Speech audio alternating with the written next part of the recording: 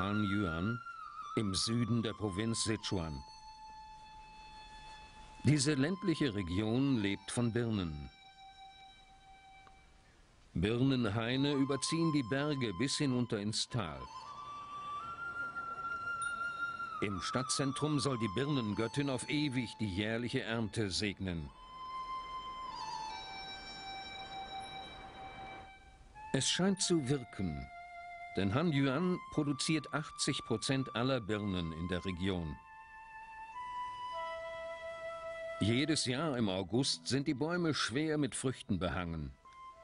Vor der Ernte werden sie einzeln eingepackt, um sie vor Insekten zu schützen. Eine durchschnittliche Familie produziert etwa 5 Tonnen Birnen.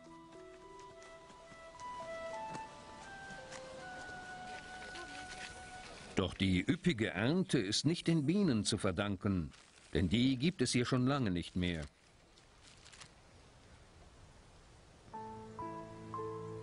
In den frühen 80er Jahren hat die unkontrollierte Nutzung von Pestiziden die örtliche Bienenpopulation ausgelöscht und mit ihnen die Blütenpflanzen, von denen sie sich ernährten. Die Obstproduktion brach zusammen und die Bauern mussten zusehen, wie ihre Lebensgrundlage vor ihren Augen verschwand.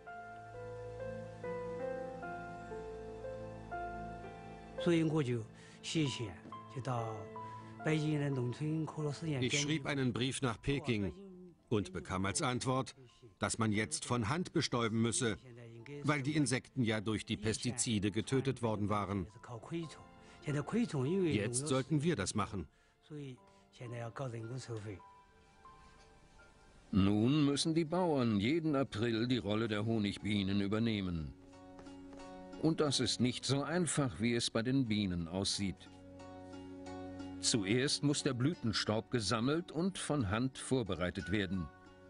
Von den Staubbeuteln, den männlichen Teilen der Pflanze, muss der Blütenstaub abgerieben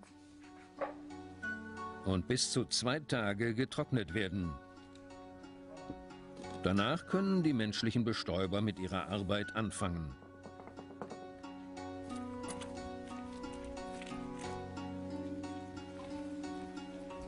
Dr. Tang Ya von der Universität Sichuan beobachtet seit längerem den Bestäubungsprozess der Bauern von Hanyuan. Heute will er die Früchte ihrer Arbeit begutachten.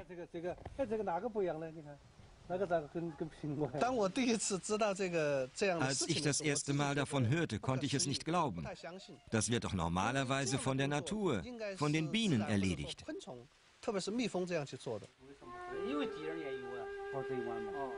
Nur mit einem Bambusstab und ein paar Hühnerfedern imitiert der Bauer Kao Xing Yuan den flaumigen Körper einer Biene.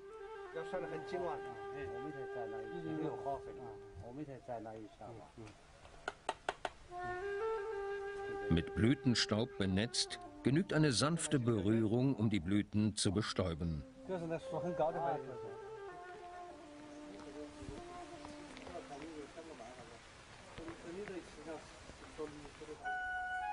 Jeden Frühling machen sich Hunderte von Arbeitern an die Birnbäume heran und bestäuben sie Blüte für Blüte. Ein Bienenstock kann pro Tag bis zu drei Millionen Blüten bestäuben. Ein Mensch maximal 30 Bäume. Es ist ein mühevoller und teurer Ersatz für eine Leistung, die früher die Bienen erbrachten. Kostenlos.